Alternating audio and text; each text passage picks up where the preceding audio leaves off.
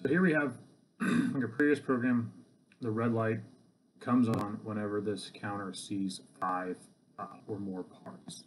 So if we reset the counter, then the red light will go off, and then after five parts go in, the red light comes on.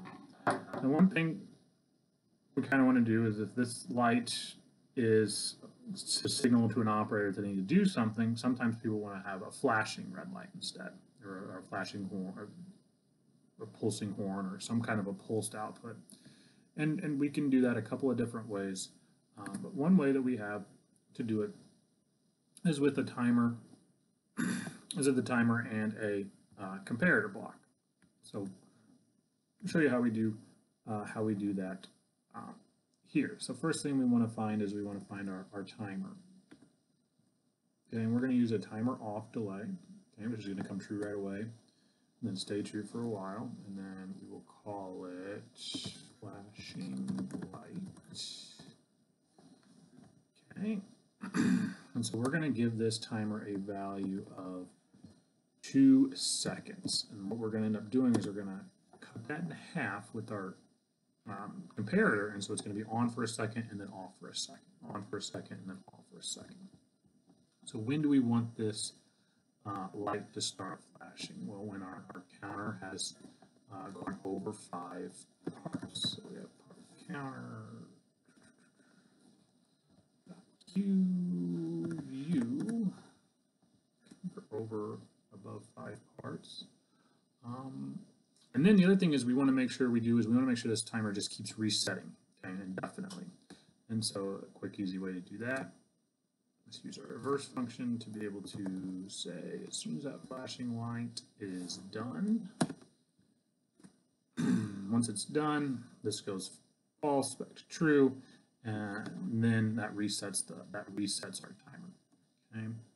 Now we have a repetitive timer that just keeps timing. Every two seconds it's going to reset. Okay.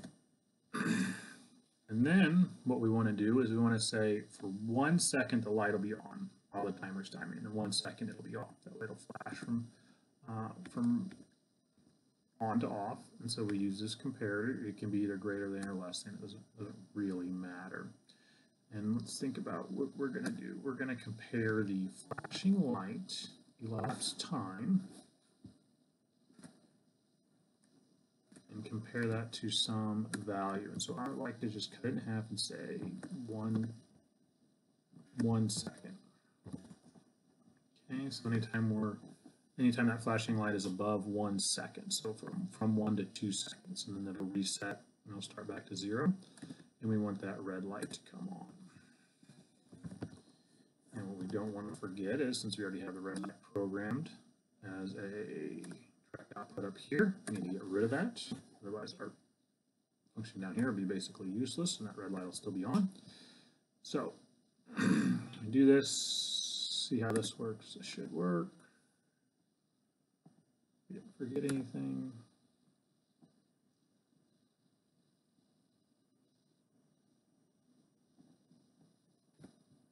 Okay, no errors in the download. And so we already know it's working because we can see this happen, right? This is going from on to on to off. Okay, and so if we want to check our uh, check our real world outputs, you'll notice our light here is flashing from on uh, to off. Output zero is flashing from on to off. And also, since in a previous lab we tied this to a um, circle on an HMI, that is flashing from on to off as well. So it's just a way that we have um, to be able to to have it um, start flashing. Now, if we want to make this better, we should probably go ahead and instead of having its own rung down here, we only want the light to come on anytime uh, after that after that part counter QU after that counter has seen more than five parts. So we should probably put that up here.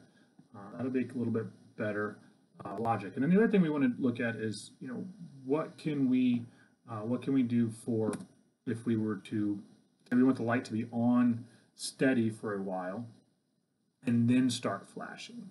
Okay, so if we say, you know, conveyor is full, turn the light on, notify the operator, and then if the operator hasn't done anything, um, for our example, we're just going to call it 10 seconds. um, then it, it's going to start flashing after after that. But that can be anything that, that, that you might need um, for your controls. And so what we're going to do is we're going to put in a timer on delay. Okay, so a timer, the start flashing timer. So now we say not until 10 seconds will we even have this flashing light timer uh, go on. So that part counter's got to have more than five parts in it. Box has to be full, and then we and then we start flashing. But we also want to be able to have it come on solid. Um, while we're waiting for that that timer to go. Okay, so as long as that timer is off, the timer on delay, so as long as it's off, put that start flashing. Cues, these are not a reverse block there. Then that tells us the red light will be on flashing here, but this won't start until after this is done timing. And while this is timing, uh, it's not true, then this will come on. And that's all only going to happen after the part counter sees five parts. So we'll see, hopefully this works. We're not forgetting anything.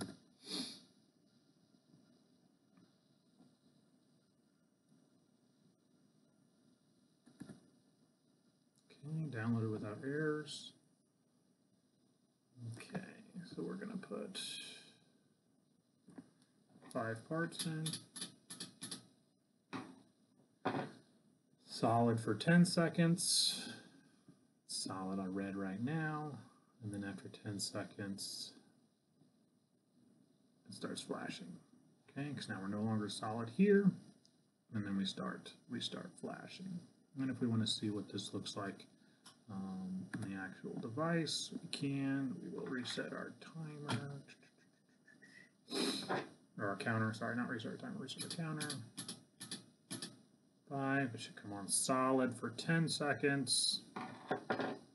And then after 10 seconds, if it hasn't been reset, it will start. Uh, it'll start flashing.